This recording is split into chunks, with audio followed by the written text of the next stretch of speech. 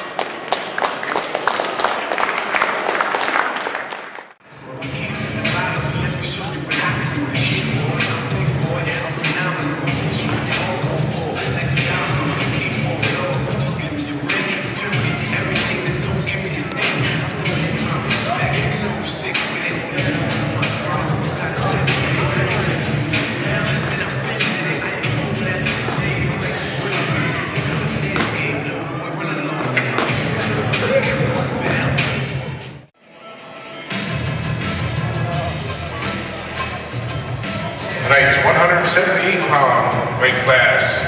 The winner comes out of the red corner.